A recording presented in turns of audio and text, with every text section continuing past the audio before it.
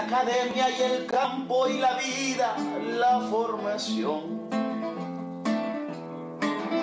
Somos 44, somos 43, ya se multiplicó. Somos bola de nieve, somos México. Se oye fuerte una inminente evocación. 120 millones unidos en un corazón.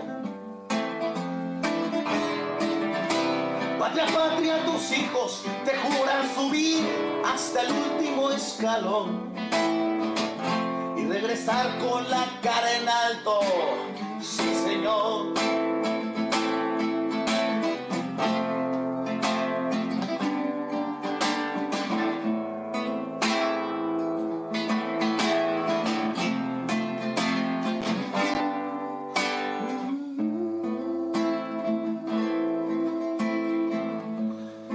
Escucha fuerte una revolución en el firme latido de una nación.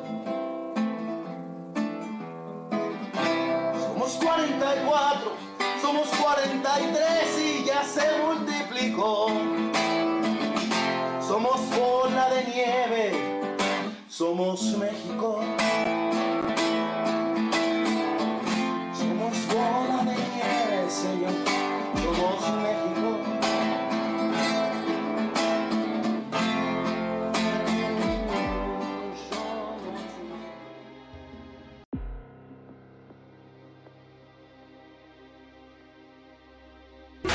Eh, del grupo parlamentario del Partido del Trabajo, yo quiero comentar que quería responder de manera personal, individual, política, pero compañeros del grupo decidieron acompañarme en esta rueda de prensa, lo agradezco infinitamente.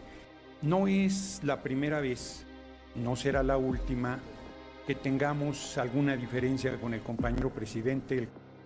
Sin embargo, Fernández Noroña aseguró que López Obrador decidió que el PRI encabece el Congreso.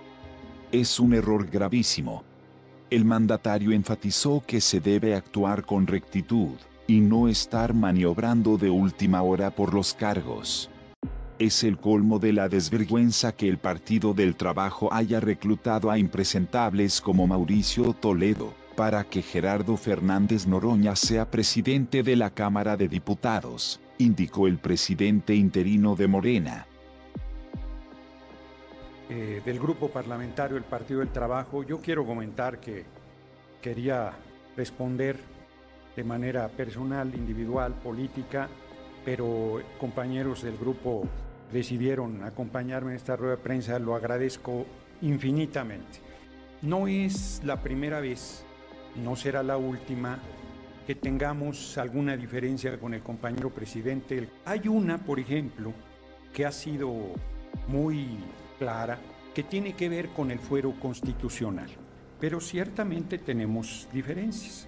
Hay una, por ejemplo, que ha sido muy clara de que es una irresponsabilidad quitarle el fuero al compañero presidente cuando todos los días lo acusan de cualquier cantidad de barbaridades y cuando hay una posición golpista que quisiera sacarlo de la presidencia de la República. Si es que voy a citar un acto reciente del 6 de agosto de 2020 en Cajeme, Sonora, y voy a poner a un especialista en el tema, a un político muy querido por nuestro pueblo y muy reconocido.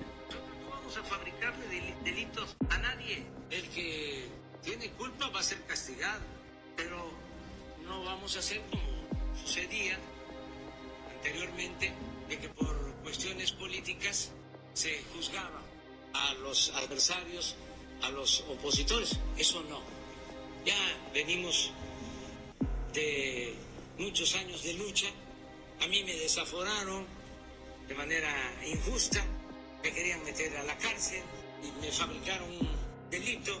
Imagínense si yo, siendo presidente, voy a actuar de la misma manera, de ninguna forma. Como ustedes pueden escuchar, compañero presidente recupera la experiencia que tuvo, que estuvo a punto de sacarlo de la elección presidencial. Y si algo lo protegió fue el fuero. y el respaldo popular. Y por eso reitero que el Partido del Trabajo tiene legítimo derecho a buscar presidir la mesa directiva de la Cámara de Diputados. Pero voy a dar finalmente un argumento que yo no quería hacer público, porque es un argumento delicado. No les quería dar el argumento directo porque es muy fuerte. Y si le pasara algo, el PRI, lo digo duro, claro, asesinó a su candidato a la presidencia en 1994, a Luis Donaldo Colosio. Asesinó a su líder, a la Cámara de Diputados, Ruiz Macié, el mismo año. Son una pandilla de asesinos. ¿Qué pasaría si nos meten en una crisis política de ese tamaño? ¿Quién asume la presidencia temporalmente? La presidencia de la Cámara de Diputados. ¿El PRI? ¿El PRI? Y dirán, ah, entonces tú estás de ambicioso con eso. No, hombre, yo quiero ser presidente seis años. Yo quiero ser candidato en 2024. Así es que cierro de manera coloquial. Señor general, señor general, si tengo ganada la plaza, ¿por qué quiere que se le entregue a los conservadores? Me parece inconcebible. Nuestro compañero presidente es un ser humano y también se equivoca. Y hoy se está equivocando. Yo le pido que nos acompañe, que nos apoye, que se rectifique. Es un error entregarle al PRI la mesa directiva. Es una irresponsabilidad. Es un acto político que no debe consolidarse. Y una última cosa que se me había olvidado. Se subestima al poder legislativo. La presidencia de la Cámara de Diputados es la titularidad del poder legislativo. No, no es cualquier cargo. Digo a los que se han estado burlando que esta historia no ha terminado, que falta la votación y no veo cómo los compañeros de Morena le den un solo voto al PRI, a la pandilla criminal que fue mandada al basurero de la historia el primero de julio de 2018. Pero les digo más, yo soy presidente de la Cámara en el corazón del pueblo de México y con eso me basta, con eso me siento muy orgulloso. Estoy en el corazón de la gente, estoy en su respaldo, estoy en su presencia, estoy en sus pensamientos, estoy en sus oraciones y estoy con ellos.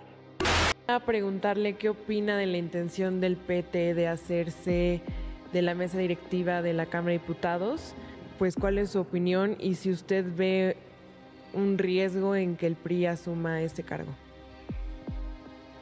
Miren, este eso es un asunto que corresponde al Poder Legislativo, pero sí eh, puedo opinar como ciudadano y además como luchador social. Creo que hay que respetar la legalidad y no hacer lo mismo de antes. Nada de maniobras por cargos. Es decir, este, hacer cosas que a todas luces son indebidas. Se tiene que respetar la ley, el reglamento. La presidencia del Congreso corresponde al partido que obtiene más votos o más escaños, que tiene más diputados. El reglamento se establece segundo año para que obtiene el segundo lugar y correspondía al PAN pues se quería modificar el reglamento. Y como se tiene la mayoría, se puede, pero no se debe. Porque la política es un imperativo ético. Entonces, si está establecido de que para el tercer año es el que obtuvo el tercer sitio, así debe de ser y se debe de respetar. Y se deben de evitar eh, cosas indebidas como cambiarse de bancada. Sí, pero este, actuar con rectitud, no estar maniobrando de última hora por los cargos, no es triunfar a toda costa, sin escrúpulos morales de ninguna índole. Esto perjudica al partido que lo hace. ¿Por qué le perjudica? Porque en este caso le da argumentos al conservadurismo Ya me imagino al reforma, ¿no? Ocho columnas. Compraron votos, maniobraron. ¿Por un cargo? No se puede hacer política sin autoridad moral. Ese es mi punto de vista.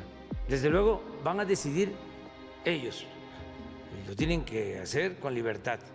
Pero el colmo sería que acomoden las cosas a la medida de alguien, de algún partido, y luego me echen la culpa a mí, porque la prensa conservadora nada más vea el de, Macuspana, sí, de Tepetitán. No me meto más, ya hablé. O sea, ya hablé, ya dije. No, yo creo que todo el mundo entendió.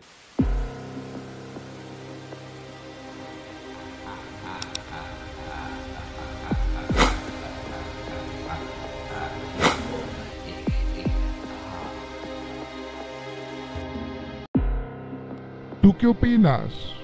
Déjalo en los comentarios.